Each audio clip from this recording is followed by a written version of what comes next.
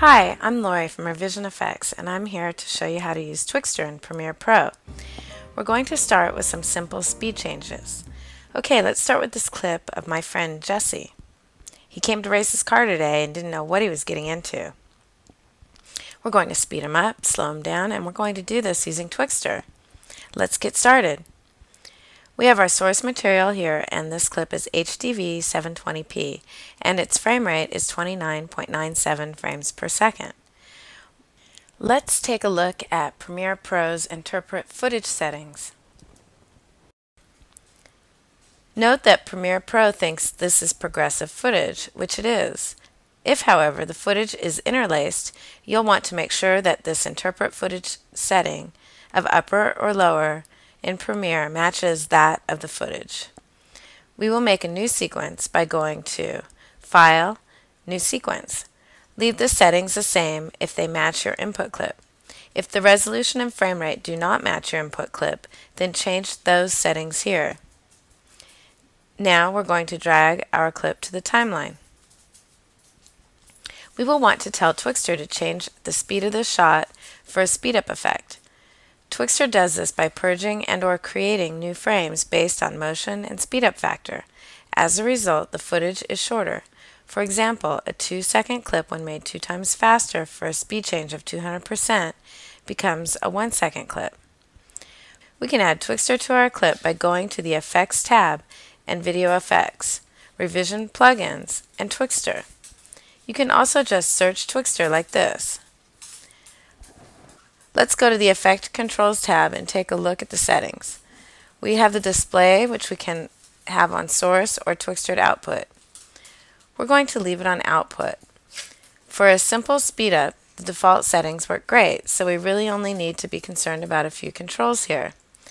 The display, the input fields need to match whatever we set up in the interpret footage, which was none However, if your footage is upper field first or lower field first interlaced footage, make sure Twixtor's settings match those of the footage.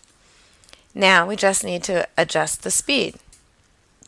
We will leave the rest of the controls for other tutorials. This is the way it works. If I choose to make it three times faster, that would be 300%. So if I put 300 in the speed dialog box, we can see the result. If I want to see the result, though, I will have to render the selection since Twixtor is not real time. I go to the sequence and render effects in the work area. The source clip that was 150 frames long or 5 seconds long is now 50 frames or 1 second 20 frames long. Hmm, are you wondering why it's just black after 120? That's because Twixtor is not allowed to adjust the length of the final output clip unlike Premiere Pro's built-in speed setting, which is allowed to change the duration.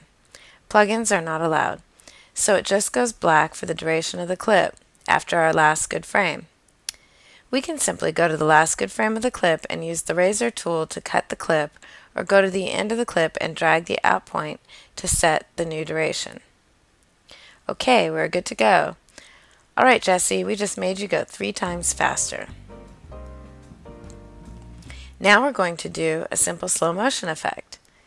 In this lesson, where the new duration has to become longer than the original, and we learned that plugins are not allowed to alter the duration of the source material, we can use a workaround.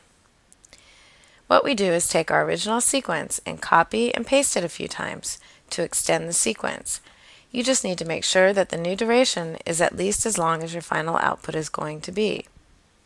Now, we don't apply Twixtor to that extended sequence, but we create a new sequence by going to File and New Sequence and leave the settings the same.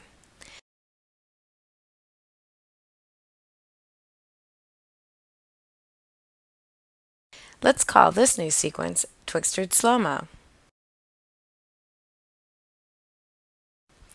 We can then drop the extended sequence into the new sequence and apply Twixtor to that by one of the methods we previously discussed.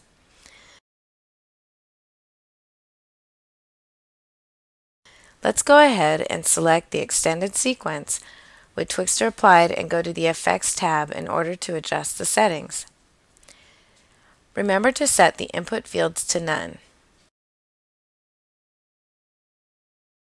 Now we can choose the type of time remapping we want, speed or frame number, and in this lesson we will use speed. All we have to do is set the speed percentage.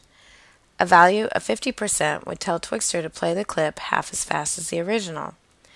We're going to make it 50% slower, so in the dialog box I will type 50.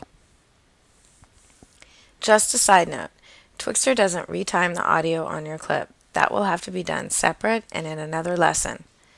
We can go ahead and render the sequence. Now let's play back the result.